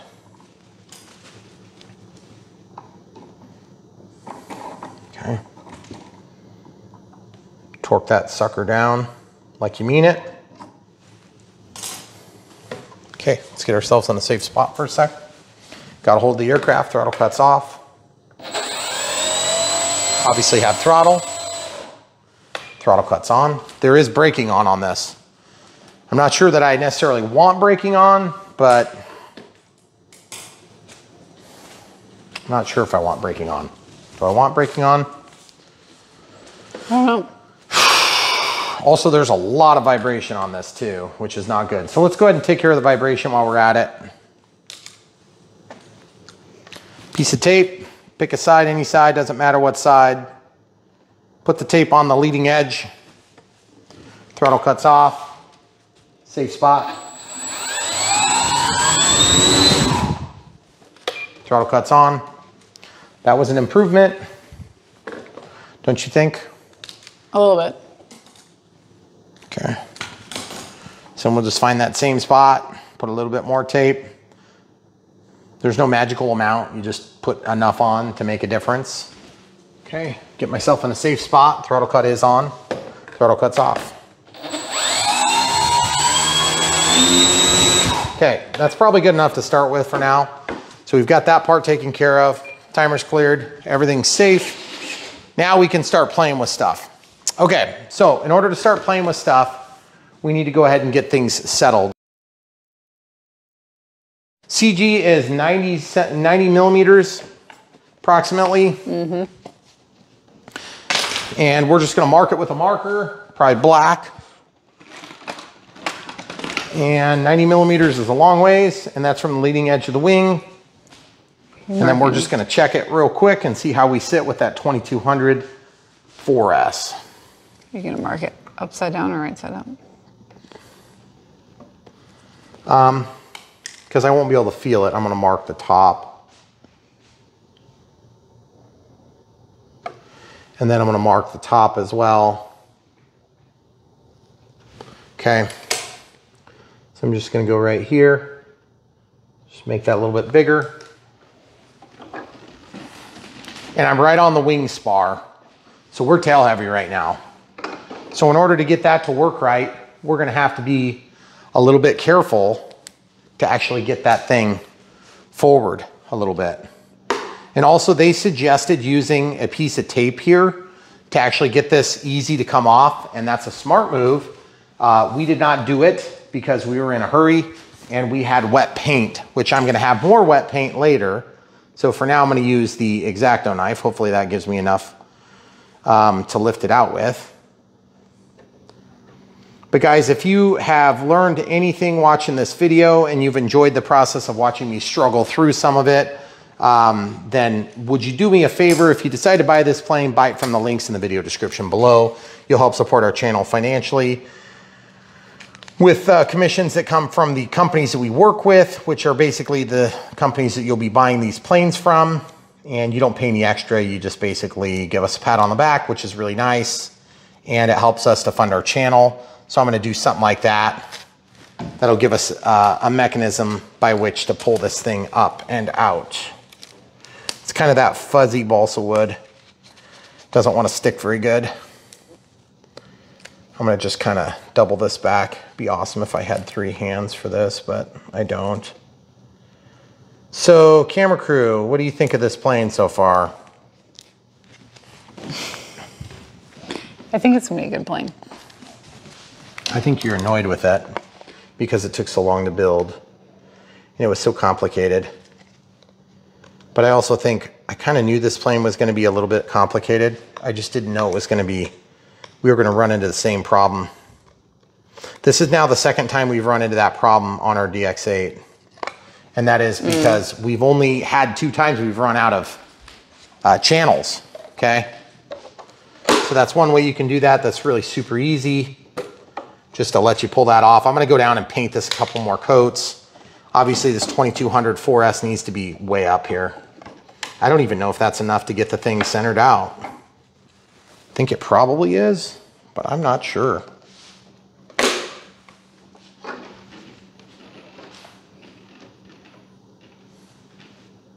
Pretty much, that's right on. Okay guys, there you have it. Uh, the Stick 14 1.4 from uh, Dancing Wings, another short clip from Brian Phillips RC. We hope you enjoyed it. Uh, we appreciate you sticking with us. Long videos are kind of tough to put together for the camera crew and I. So thanks for watching.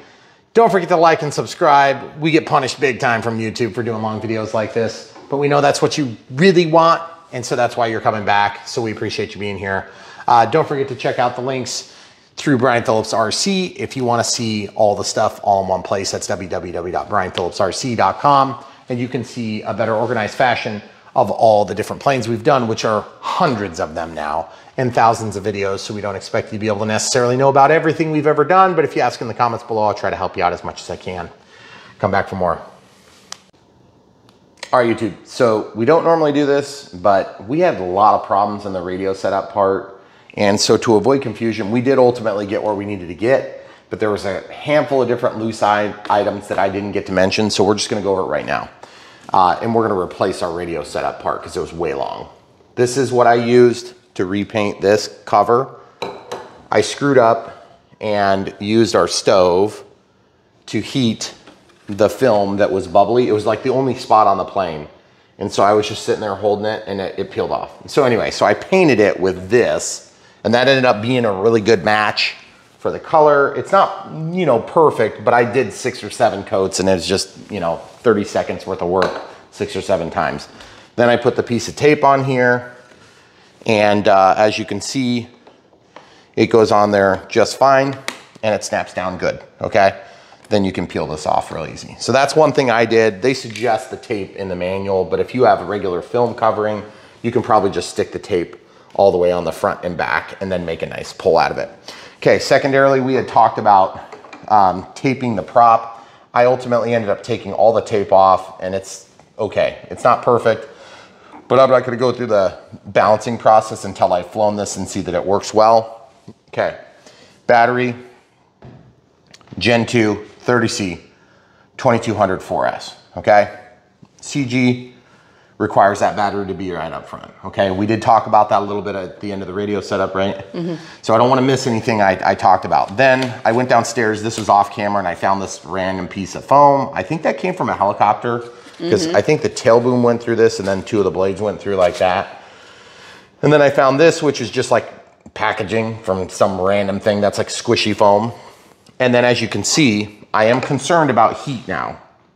Okay, we added this one extension cable, which is just a disconnectable thing.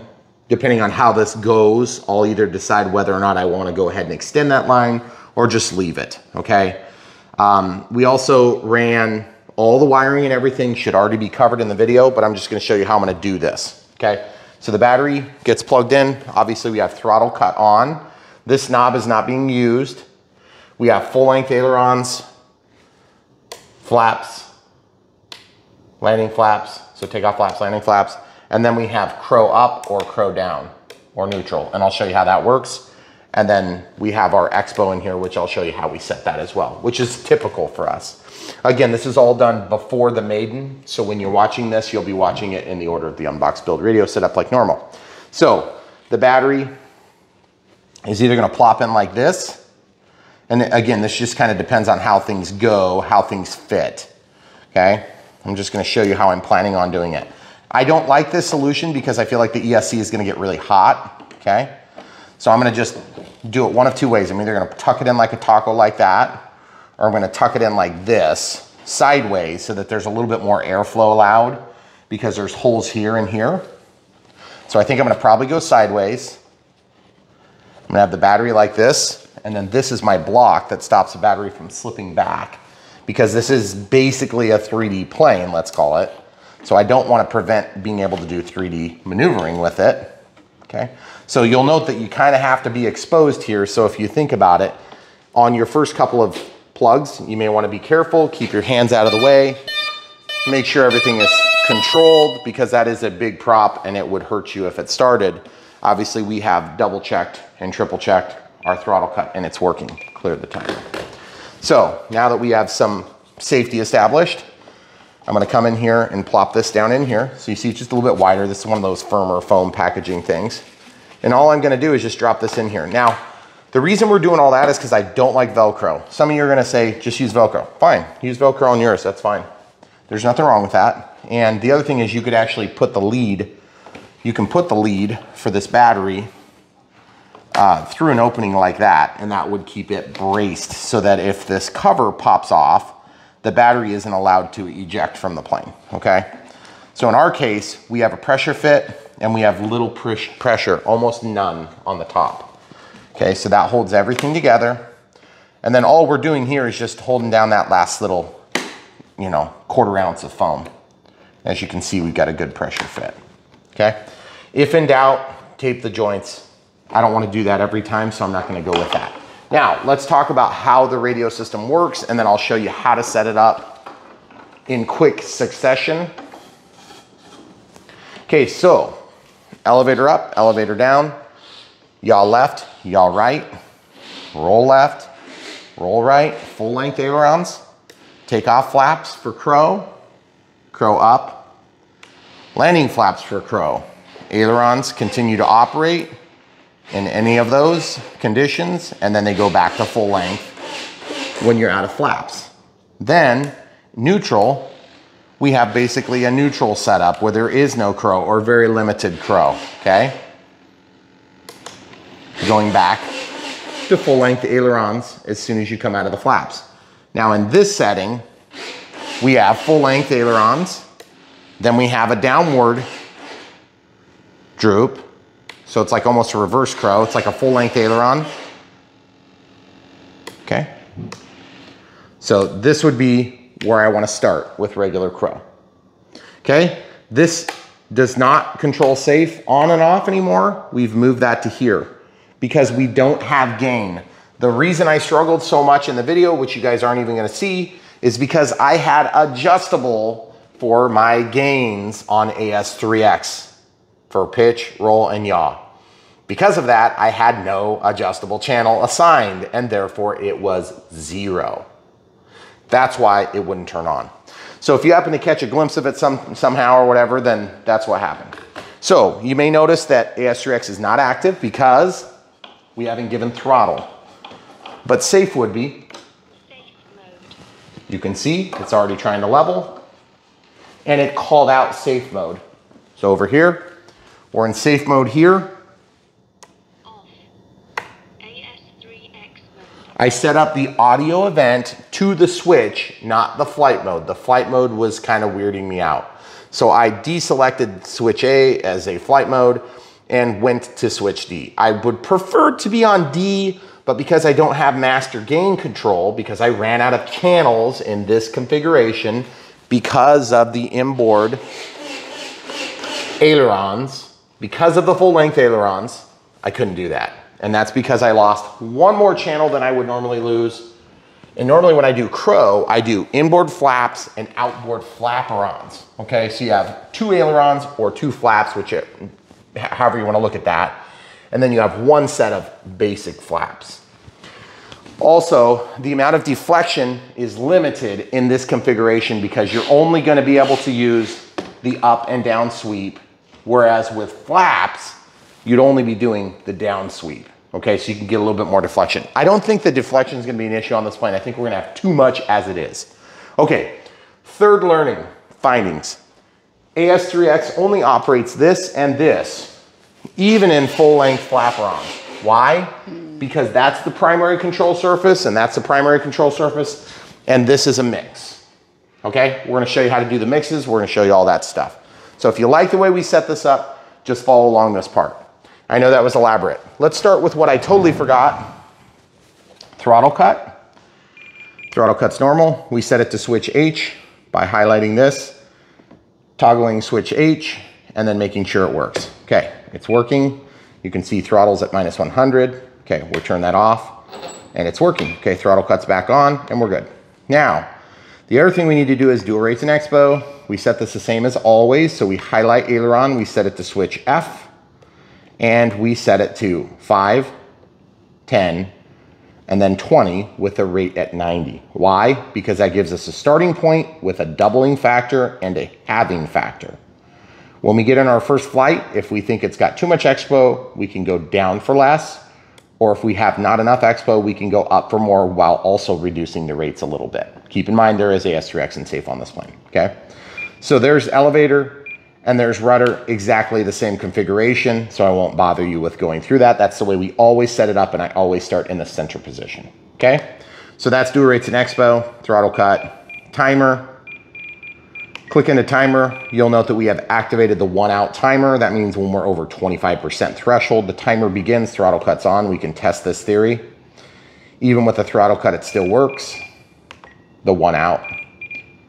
And then we set all this to one minute off, uh, 30 seconds off, 20 seconds off, voice for 10. So we have a countdown from 10 to zero, and then expiration tone of vibrate with a tone every one minute thereafter.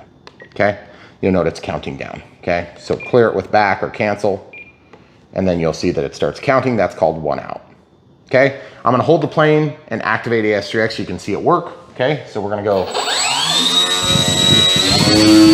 Little bit of resonance, about 30. Gets cleaned up about 50. And there's 100, a lot of power. Okay, out of throttle. Throttle cuts on and tested. Obviously AS3X should be active now because we are in AS3X mode. The neutral position for me is up. This is off, this is safe, okay? So AS3X is currently on. You may not be able to see it, but I can see it and I can hear it. I'm in 1X and we'll show you that in a minute. Up, down, up, down. Because we have multiple channels for ailerons, you have to check both ailerons. Up, down, elevator, elevator, rudder, rudder. And we'll show you that in forward programming shortly. All right, so now, once you've established that all the controls are going the right direction, in our case, we had to reverse a couple of them. You also notice that we have some sub trim on the left flap. That's just a happenstance on where you happen to drill holes in the control surface, okay? So you'll note that they're pretty even when they go down and they're pretty even when they come home. This aileron has a little bit of a twist in it, so it's like this.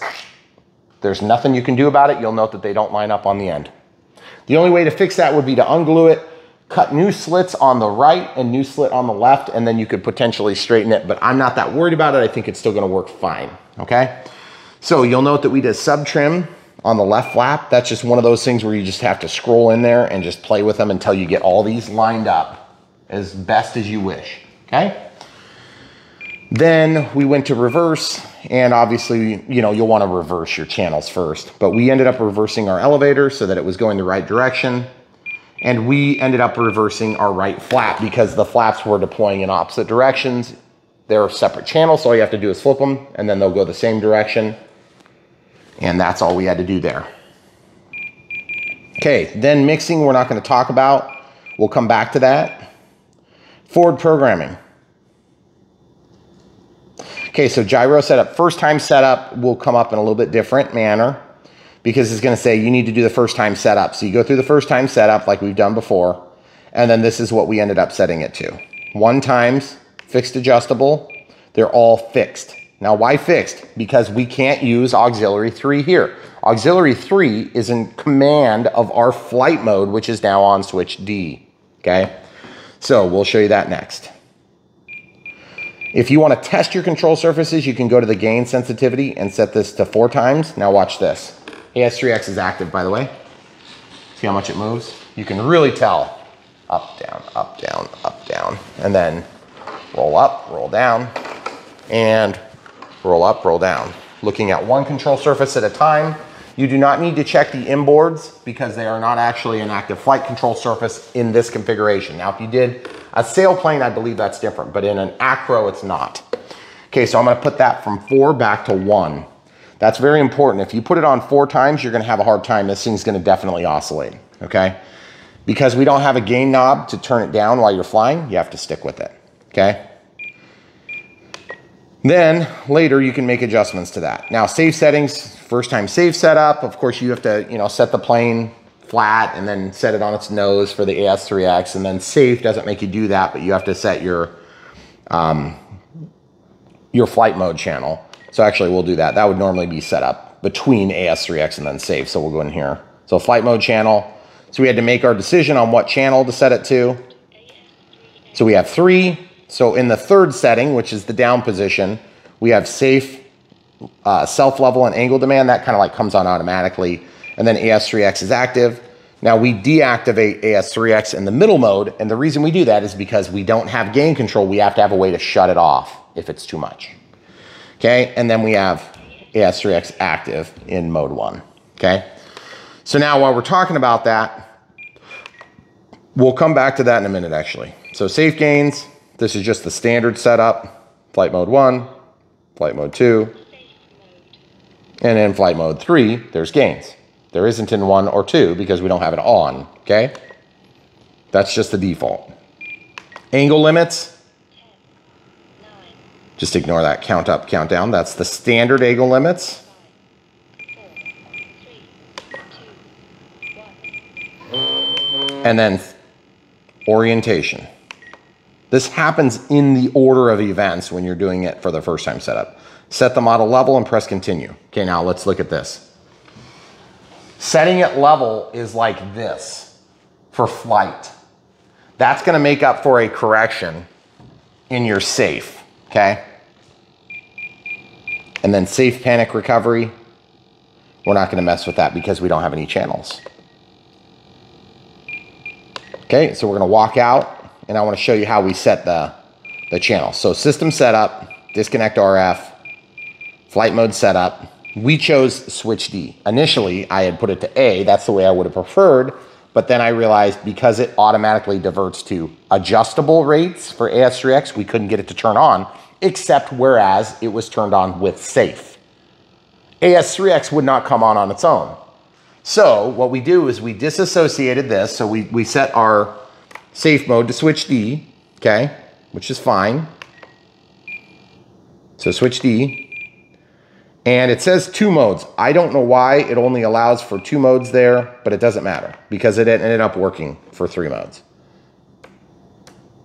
See, zero, one, two. If you set up two flight modes, it makes a matrix where it's like one, two, three, and then one, two, three, and you can have combinations therein. You can make audio call outs for each of them too, okay? We didn't do that on this. It was getting too complicated. Then spoken flight mode, we did not use. I set them to silence because it was confusing the D switch condition. Then channel assign, instead of being roller, and these are all set to NA by default, we changed that to switch D. So our assignment for auxiliary 3 is now to D. So this controls and commands channel 3 or auxiliary 3. Then next, you can see where everything is already set to what it's already set. So we don't need to mess with that. Now, back into regular setup, we're gonna click, go into function list, and we're gonna go back down to audio events, and we'll show you what we did. So switch changes, that's where I set up. So you add a new sound event, and then it becomes this. So switch D. It shows position zero, so that's the top one, position one, and position two. And then all you do is you just go into those particular switches and then you set what you want in the sound. Okay? Takes a little bit to do that because you have to scroll down every time. Now, what did we do to get the full length flaps? The way we did that was through flaps. This is how we ended up setting it up. Okay? So position zero, position one, and position two are on switch B. Okay? As you can see, there's three positions. That impacts all these channels. We don't have any elevator correction because with Crow, you shouldn't need much elevator correction. Now, it's possible that we may want a little bit of ele elevator correction in this mode. Okay, and again, this isn't a flight mode, although you could do it as a flight mode. I did it as a mixes, and I'll show you. Okay, see how it's fast acting? That's the only thing you got to be careful about is that my flap mode will change slowly, but the change in condition here will be fast acting.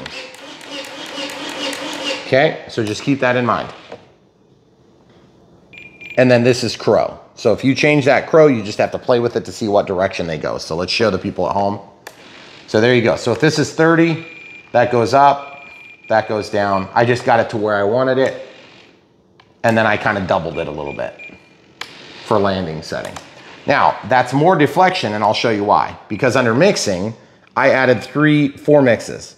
So flap to left aileron, which is only active on the middle setting of switch C. What that does is that makes a rate of 71%. And what that does is that basically negates the crow up. You'll note there's a small differential, but it's good enough for what we're doing. It's not gonna be a significant difference, okay? Then I set up another one, and I did these kind of in a weird order, so I'm just gonna go through the way I set them up. So now this is the switch setting for the uh, full length flaperon, okay? See, now they go down, all three of them go down, but then we still have active flaperons. And then they come up the level.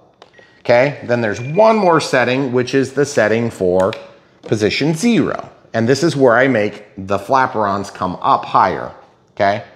Or the spoilerons with crow. They go up, they go up more. Now look at this. If you wanted them to come up more, you could make them come up more. See how they go up more? Now you could also just set this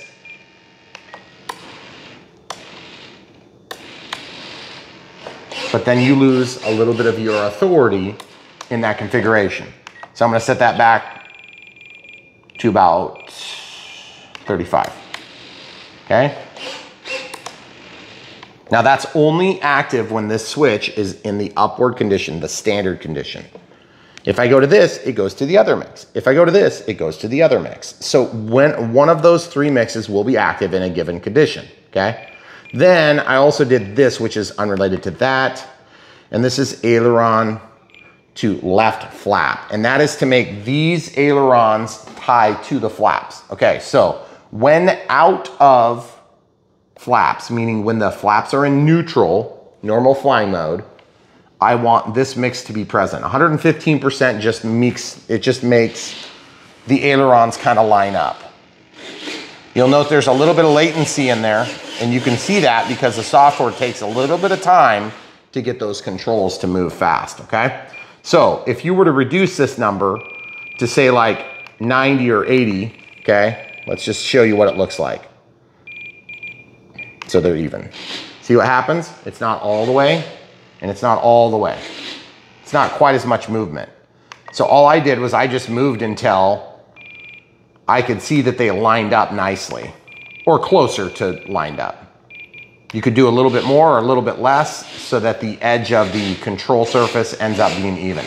And remember, my aileron has a twist in it. Yours may not. That one millimeter up, one millimeter down, one and a half, whatever it is. This one's pretty even, okay? So again, pretty complicated setup. Those were the four mixes that I did. There was a lot of him hawing around in the radio setup, which, you know, we've run into that before, but this one was like more advanced. It was frustrating to do because I couldn't figure out what I was missing to make AS3X come on. And all I was doing was within my setup in forward programming, I'm just gonna review this one more time. Within forward programming under gyro settings, AS3X settings, AS3X gains, you see how they're all here? You can change those right now. Like if I had, if it was, if it was, you know, overcorrecting, I could click this and scroll it down. That's gonna be hard to do in flight, okay? But just so you know, you can make an assignment to control that somehow with these switches. I just don't know how to do it yet. Someday I'll figure it out. But then you see this pitch, you can adjust that. And you see this yaw, you can adjust that. Ordinarily, I would have that adjustable and fixed to in a linear output, whatever the auxiliary three position's in. We can't do that now because those things are basically fixed. Okay? Oh, and it's right here. That's fixed adjustable gain. See how it's fixed, fixed, and fixed? If that were adjustable, it would have no association to a control, and therefore it would never turn on. And that's what struggled. That's, in fact, I'll, I'll put it to adjustable and just show you what happens okay? AS3X. We'll turn it to four just so you can prove it. And obviously we've had this on. That's an AS3X, that's off, and that's safe. It's working, off, and AS3X, just because it says adjustable. Now, why that is, is because the adjustable gain, now just to prove it to you, I'll leave it in 4x, and then I'm gonna, ah, dang it, sorry. I'm gonna go down to fixed adjustable, and then I'm gonna just switch to fixed, fixed, and fixed. Now watch this. Working. So, and obviously ailerons, everything's working. Now the reason it's working is because we now have a value associated with it. If it's associated to a blank value, then the blank value would be assumed to be zero. Therefore, there is no output. So that was really frustrating to figure out, but I'm glad we figured it out. And I'm hoping that by sharing this with you, you guys will be able to avoid the same frustration. Putting my gain sensitivity back to 1x. And then uh, I'm gonna just go back into this fixed and adjustable and just leave them, verify they're correct. And just remembering when we land, we'll have to make adjustments on the ground, which we've done before. It's not a big deal. Once you get the adjustments in there, you pretty much know where you want it. And then we can also adjust our um, expo and dual rates. Mm-hmm. So I think we're gonna be in good spot to make this plane fly good. Um, but this is definitely one of those times where it would be nice to have those additional two channels would be huge, huge. Because right now I feel really handicapped without having the adjustable rate. Now the other thing too is, and I just wanna, I just wanna implore you guys, if you want full length ailerons, there's more than one way to skin that cat, okay? You can Y the cable and you can make this one aileron and that one aileron. And then you could get full length ailerons. But then you'll have to do with flaperons, okay? So you do give up a lot, I think, because I think inboard flaps work better And I think Crow works better, but I do not think that full length uh, ailerons are going to be worth all the dinking around. Hindsight says I should have wide the flaps, gained a channel so I could do my adjustable channel while still doing everything else with the exception of that. And that simplifies the mixes a lot. Which you could go back and I could go do back and that change if you decided. It would actually be pretty easy to do. Yeah. But the thing is, I wanted to show you how I did it. If you decide you want to do that, I think that's the way we set up the Ultra Stick from Hangar 9. Um, and you may recall, I wasn't a big fan of it. You want to know why? That plane was heavy and it's very expensive. Okay? This plane is not heavy. It is smaller. I mean, obviously, it's going to be less heavy because it's smaller. But this plane is actually like light, I think. Given its size characteristics, build quality, everything, I think this is a really nice plane. Uh, we did struggle with some of the setup on the radio setup just because we don't do this wing type very often. So we don't want you guys to give that bad marks. Uh, Dancing Wings planes take a long time to build. So if you guys are watching this build and it looks like, you know, we're really miserable, well, the camera crew is kind of miserable right now because she's dealing with uh, hives. And I just got done dealing with hives. Yeah. Yay. So we were a little bit fun. miserable filming that. Uh, but at the same time, we love getting these planes to you. And we hope that in some way this video has helped you guys to have a better experience or maybe make a decision to purchase this particular plane. If you're in that, if you're in that boat and you're deciding to buy this, buy it from the link in the video description below or head over to brianphillipsrc.com, uh, Brian Phillips, www.brianphillipsrc.com, and you can go through and search and you can see all the different planes that are competitive, similar, and you can decide which one you like best. We never try to talk you guys into buying something you don't like, but we want you to reinforce what you do like and make decisions on what you like better because everybody's got limited budgets and RC time and RC, you know, I mean, it's not just about money. Um, but like even for us, I mean, with doing so many planes, it's like we only have so many hours to do planes. And so when we make a decision to do a plane, a lot of times for us, it's like how much time can we tolerate this build? So fortunately for us, we had a rainy day.